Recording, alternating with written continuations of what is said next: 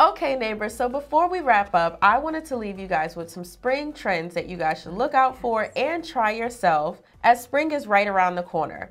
So, the first spring trend is the ponytail with the cornrow braid. That's beautiful. I mean, just imagine. Yeah. It's not a lot of work, but it's simple and yet stylish. Yes. So yeah, I think that's a great trend for summer or even spring. Coming Yes, in. I love it. Next, hair oh. wax. This is like a hot new trend. I'm thinking that we need to have this in the office sometime Yes. soon. But what do you feel about the hair wax? Well, what I, the color is great on her, but Mm-hmm. what I also know is that you know sometimes for those office women that Yeah. can't really do the color, Mm-hmm. uh, this is something great that they can keep on their hair and then even wash off before they go into the office the Exactly, next day. you know, exactly. so and I'm loving this trend, especially for me. Um, if you guys follow me, then you know I'm trying to do like a whole year of like natural, heat free, color free, all this stuff. So it's definitely good for me because I love experimenting with color. So I'm definitely going to be trying this for the spring. okay, Yes. wonderful. Lastly, Oh. this cute blunt bob with the bang. You can do a side bang. You can do this nice edgy bang that uh, Zendaya has going on here. What are your thoughts about this? Oh, I think it's excellent. I mean, it's so beautiful. It's elegant. I think you can wear it to the office. You can even wear it out, you know, because you know you was saying how you like to get it hot. Yes.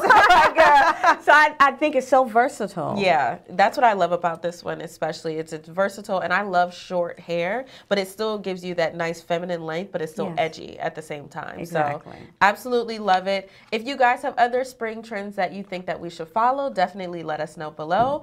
And Joy, thank you so much for coming out. I, it's sad to say it's the end of the show. Oh, no problem. I'm just grateful to Hey Nabor Show for having me Yeah. again. And please follow me on Instagram, actress Joy White. You can watch my journey as I continue to follow my dreams, as you should too. And I, I'll be watching on this episode of Hey Nabor. Yes, yes, yes, yes. I feel like we need like a nice, beautiful goodbye song. Goodbye, my friend. Something like that. But it's okay next time. Um, before we go, I definitely want to give a huge shout out to our viewer that came in and got a free cosmetology lesson from Travis. Her name is Tasha Smith, and we'll make sure that we link her Instagram information. Thank you to I and I Hair, Second Nature for the face mask. Definitely check them out.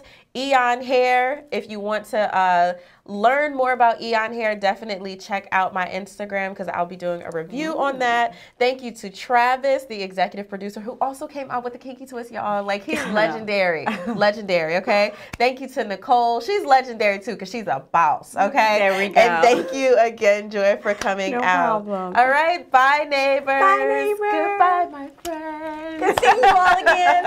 bye.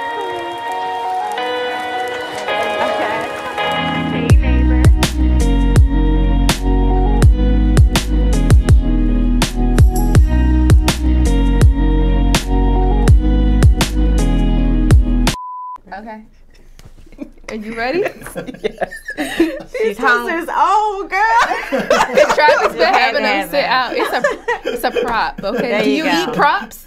You don't eat. She was gonna eat that prop, okay? Drier than ever.